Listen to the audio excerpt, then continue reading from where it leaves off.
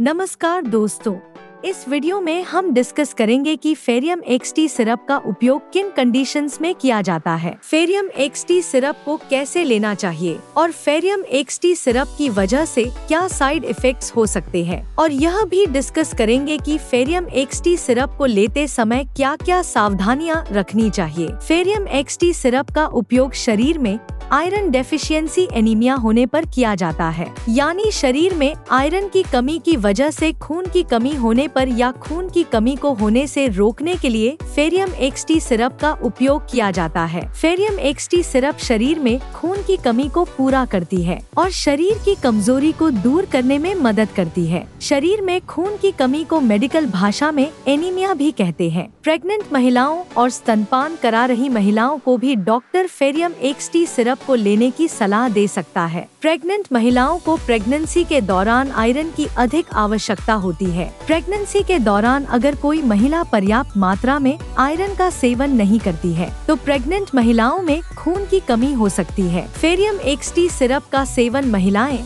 व पुरुष दोनों ही कर सकते हैं। अब हम डिस्कस करेंगे कि शरीर में खून की कमी होने पर क्या क्या लक्षण हो सकते हैं। शरीर में खून की कमी होने पर शरीर में बहुत ज़्यादा थकान होना, शरीर में बहुत ज़्यादा कमज़ोरी होना, त्वचा और आँखों में पीलापन होना, उठते या बैठते समय चक्कर आना, हाथों व पैरों का ठंडा होना, सिर दर्द रहना, छाती में दर्द होना, नाखूनों का कमज़ोर होना व नाखूनों का आसानी से टूटना।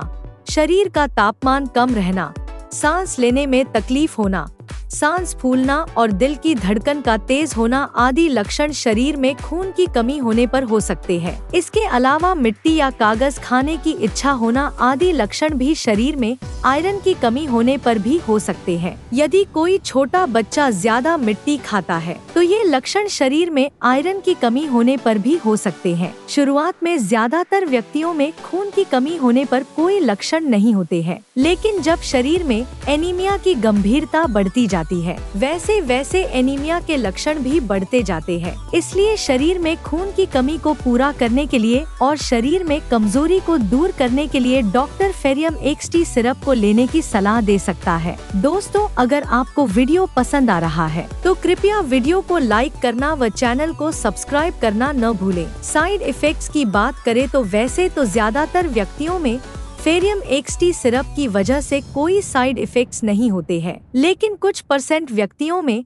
फेरियम एक्सटी सिरप की वजह से कुछ साइड इफेक्ट्स हो सकते हैं। फेरियम एक्सटी सिरप की वजह से कुछ व्यक्तियों में कब्ज होना या दस्त होने की समस्या हो सकती है। इसके अलावा कुछ व्यक्तियों में फेरियम एक्सटी सिरप की वजह से उल्टी आना, उल्टी आने का मन होना बदहजमी या सीने में जलन होना और पेट में दर्द हो सकता है। आमतौर पर ये साइड इफेक्ट्स अस्थायी होते हैं और जैसे जैसे आपका शरीर फेरियम एक्सटी सिरप के साथ तालमेल बनाता है वैसे वैसे ये साइड इफेक्ट्स भी कम हो जाते हैं। यदि इनमें से कोई भी साइड इफेक्ट्स लगातार बना रहता है या ज़्यादा होता है तो आपको तुरंत ही डॉक्टर से परामर्श लेना चाहिए। फेरियम एक्सटी सिरप की वजह से टट्टी का रंग ब्लैक हो सकता है। फेरियम एक्सटी सिरप की वजह से टट्टी का रंग ब्लैक होना एक सामान्य बात है। फेरियम एक्सटी सिरप की वजह से टट्टी का रंग ब्लैक होना कोई नुकसानदायक नहीं होता है। फेरियम एक्सटी सिरप को पीते समय यदि फेरियम एक्सटी सिरप दांतों पर लगती है तो इसकी वजह से दांतों पर काले रंग के धब्बे हो सकते हैं। इसलिए दांतों को काले रंग के धब्बों से बचाने के लिए फेरियम एक्सटी सिरप को जूस या पानी में मिलाकर पीना चाहिए। और इसके अलावा आप फेरियम एक्सटी सिरप को स्ट्रॉ या यानी जूस पीने वाले पतले पाइप की मदद से भी फेरियम एक्सटी सिरप को पी सकते हैं। ताकि फेरियम एक्सटी सिरप की वजह से दांतों के रंग को प्रभावित होने से बचाया जा सके। अब हम डिस्कस करेंगे कि फेरियम एक्सटी सिरप को कैसे लेना रिकमेंडेड होता है। फेरियम एक्सटी सिरप को खाना खाने से एक घंटे पहले या खाना खाने के दो घंटे बाद लेना रिकमेंडेड होता है। फेरियम एक्सटी सिरप को लेने के बाद कम से कम 20 मिनट तक आपको लेटना या सोना नहीं चाहिए। आमतौर पर 12 साल से अधिक उम्र के ज़्यादातर व्यक्तियों को doctor 5 millilitre Ferium XT syrup को दिन में दो बार लेने की सलाह देते हैं। ज़्यादातर प्रेग्नेंट महिलाओं को डॉक्टर फेरियम एक्सटी सिरप को प्रेगनेंसी के पहले 12 सप्ताह यानी प्रेगनेंसी के पहले तीन महीने पूरे होने के बाद ही फेरियम एक्सटी सिरप को शुरू करने की सलाह देते हैं। क्योंकि प्रेगनेंसी के पहले तीन महीने के अंदर प्रेग्नेंट महिलाओं को उल्टी आना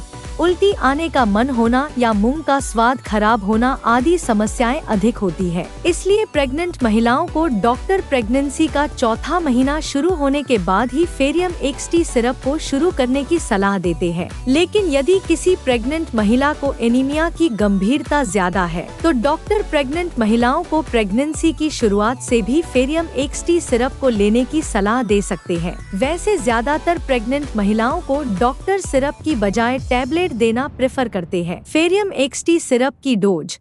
उम्र शरीर के वज़न और बीमारी की गंभीरता के आधार पर कुछ व्यक्तियों में इससे अलग भी हो सकती है। इसलिए आपको फेरियम एक्सटी सिरप को आपके डॉक्टर द्वारा बताई गई डोज में ही लेना चाहिए। अब हम डिस्कस करेंगे कि फेरियम एक्सटी सिरप को लेते समय क्या क्या सावधानियाँ रखनी चाहिए। डॉक्टर फेरियम एक्सटी सिरप के साथ विटामिन सी की सिरप या विटामिन सी से भरपूर खाद्य पदार्थों जैसे टमाटर, आंवला, संतरा, स्ट्रॉबेरी अंगूर, अमरूद और कीवी आदि को खाने की सलाह दे सकता है, क्योंकि विटामिन सी शरीर में आयरन के अवशोषण को बढ़ावा देता है, जिसकी वजह से फेरियम एक्सटी सिरप की प्रभावशीलता बढ़ जाती है। आयरन के साथ चाय, कॉफ़ी साबुत अनाज, अंडे और दूध या दूध से बने खाद्य पदार्थों को खाने से बचना चाहिए, क्योंकि इनकी वजह से शरीर में आयरन का अवशोषण कम हो सकता है। शरीर में एनीमिया की जाँच कराए बिना फेरियम एक्सटी सिरप को ज़्यादा लंबे समय तक नहीं लेना चाहिए, क्योंकि शरीर में एनीमिया होने के अन्य कारण भी हो सकते हैं।